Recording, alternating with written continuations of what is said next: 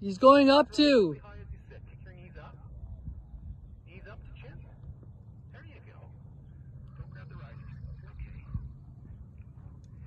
If you need to scooch a little further back, get yourself in, but use your leg straps, not the risers, to get in.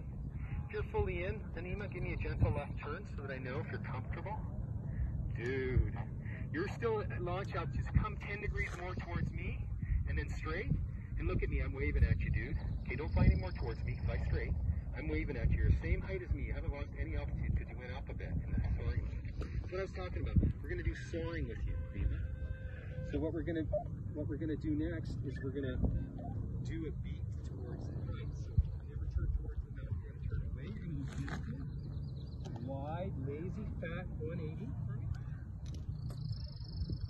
Yeah, and then come parallel. So don't run up the mountain, just come parallel to the mountain. Yeah. Have a look over your right shoulder. You'll see you haven't lost any altitude. Well, barely. Now you're losing a tiny bit. That's because you have dynamic lift. You have like soaring. Going up again. Here we go. A little bit up.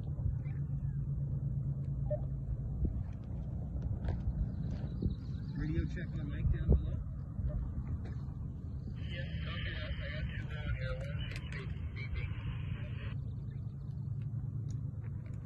Yeah, go to the third. Nima, I needed it to come back. So left 180. Nice easy turn, flat turn.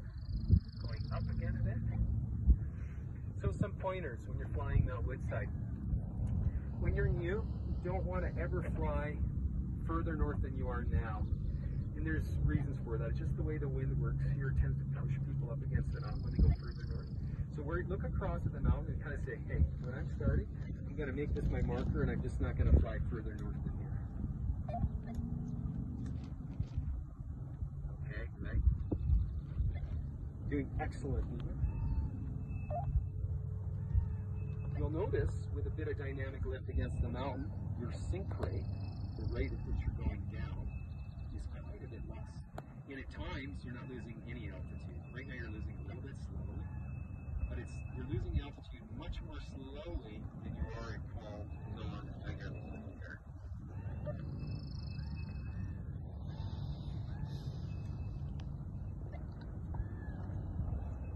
There's a little thermal. You gotta turn on that. That's great. Keep going. It nice and smooth. Uh, good. And don't come closer than that. Maybe step away a little bit. 10 degrees away from the mountain. 10 more degrees. Whenever you look down below your feet and there's not like 300 feet below you in the trees, you need to step away as a beginner. So step away again. So you sort of sight below yourself. You and if you don't see like lots of room between you and trees, you need to always step away. Doing good.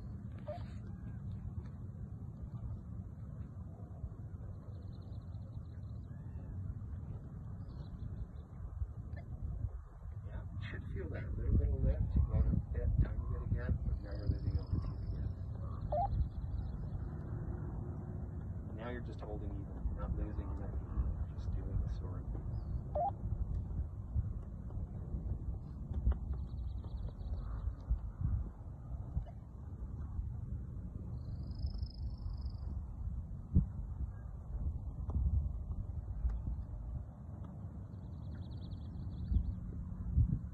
Okay, so you decide when you want to turn, always keeping your distance both vertically and horizontally from the trees below you. So you're always making sure you got some buffer room. And you don't ever want to be like right over the trees. Like when I mean that is like just 100 feet over the trees. You always want to have 300 feet below you, between you and the trees. You're a little close there. So let's step out a little bit more.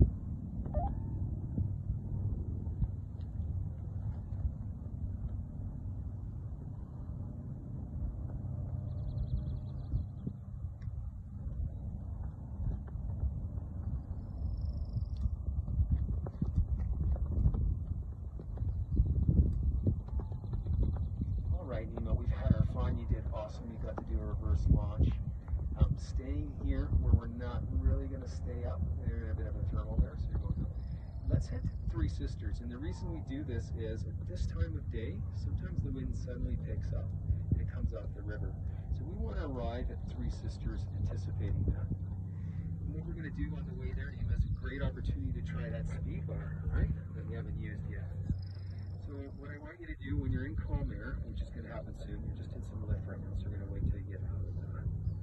Then you're going to do what we said. You're going to not have your hands resting on the controls. You're going to have your hands slightly higher. Let's do that. And then I want you to hook your heel into that speed system.